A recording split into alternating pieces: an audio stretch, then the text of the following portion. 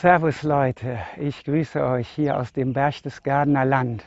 Wir gehen heute hoch zur Schertenspitze, 2153 Meter hoch ist der Berg. Und wir sind jetzt schon bis zur Blaueishütte hinaufgestiegen, die seht ihr hinter mir im Bild. Von hier aus kann man auch rübergehen und sich den Blaueisgletscher aus der Nähe anschauen. Das ist der nördlichste Gletscher der Alpen. Und wir gehen jetzt auf die daneben liegende Schertenspitze hinauf. Bis zur Hütte ist ein reiner Wanderweg und der weitere Weg hoch zur Spitze, der ist zum Teil Drahtseil versichert und kann sogar als leichter Klettersteig gegangen werden. In jedem Fall muss man hier dann schwindelfrei sein und sich im alpinen Gelände einigermaßen zurechtfinden. Das heißt, zu wissen, wo man sich ab und zu dann auch mal besser festhält. Aber alles in allem soll dieser Gipfel doch eine recht einfache Besteigung ermöglichen. Ich freue mich, dass ihr uns auf dieser Tour begleitet und ich wünsche euch viel Spaß mit diesem Video.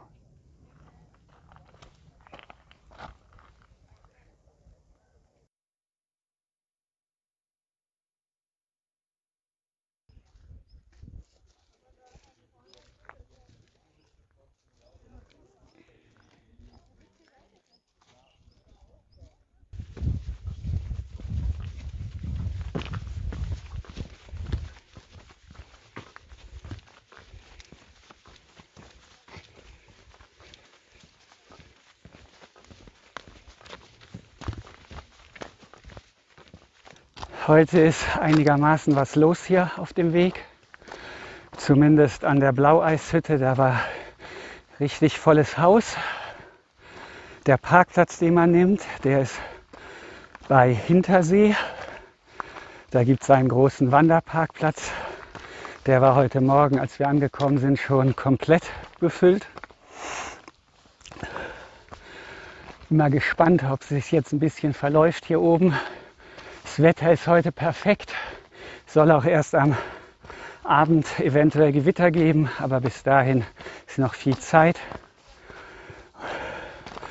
Und es ist Sonntag. Entsprechend sind natürlich ein paar mehr Leute unterwegs.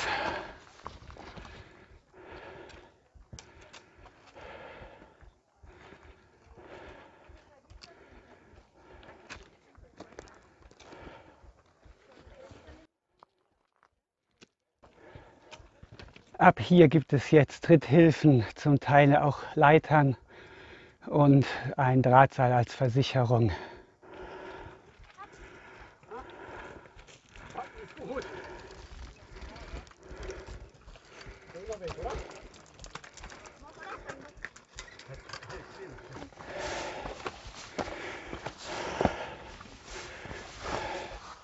Nicht dramatisch ist das hier. Klettersteigset braucht man meiner Meinung nach hier wirklich nicht.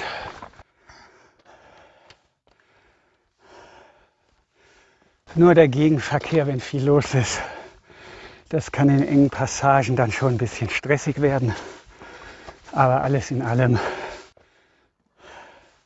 keine übermäßig schwierige Unternehmung.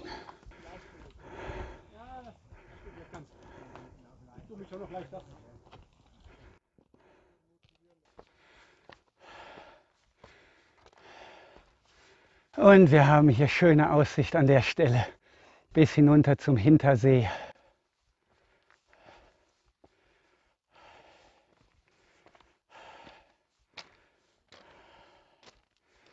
Angegeben ist die Tour mit viereinhalb Stunden ab Parkplatz, drei Stunden bis zur Blaueishütte und anderthalb Stunden von dort bis zum Gipfel.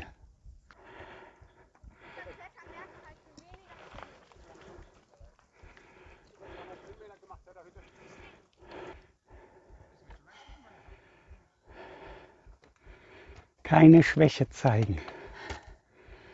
Das nimmst du aber nicht auf? Nein. Ich nehme nur auf die Stellen, wo du durchjoggst durchs Gelände.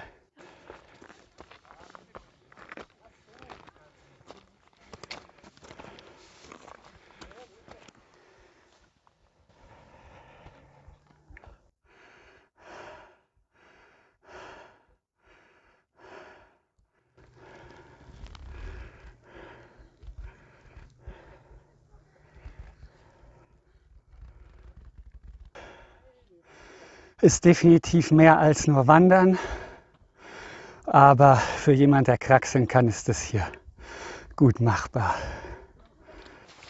Etwas über 1400 Höhenmeter beinhaltet diese Tour hinauf zum Gipfel.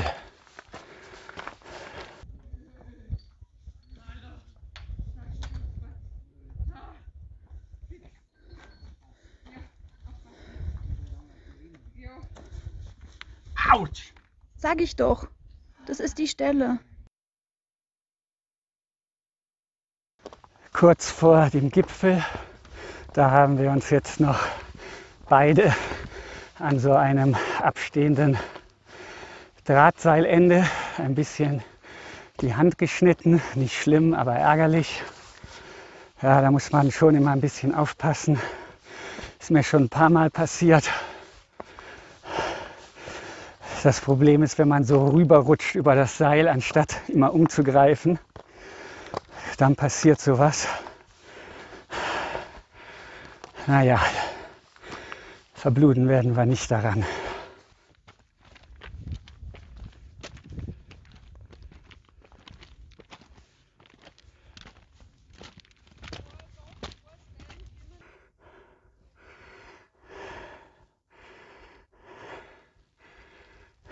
Und da haben wir den Gipfel.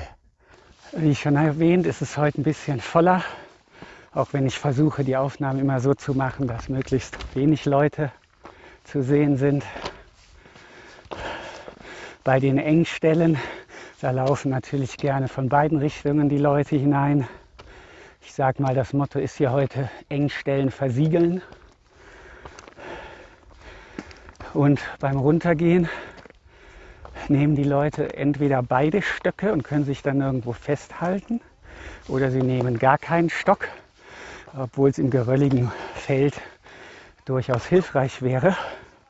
Da ist meine persönliche Empfehlung einfach, nehmt nur einen Stock und mit der anderen Hand kann man sich da noch festhalten. Das funktioniert bei mir zumindest am besten und ist mal ein Versuch wert.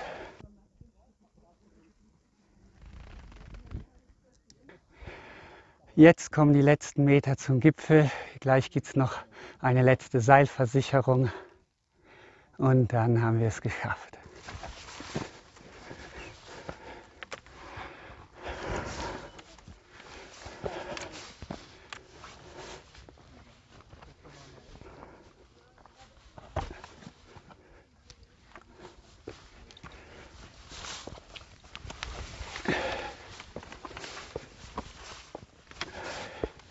Servus.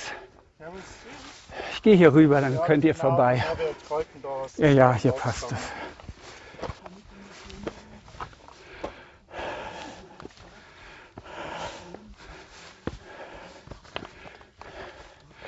Also so viele Leute, wie uns jetzt hier entgegengekommen sind, da kann eigentlich keiner mehr oben sein dann.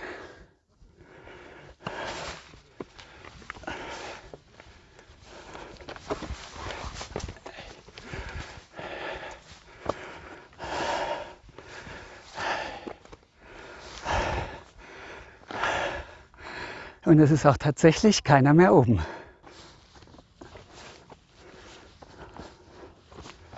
Hier braucht man jetzt noch mal Trittsicherheit.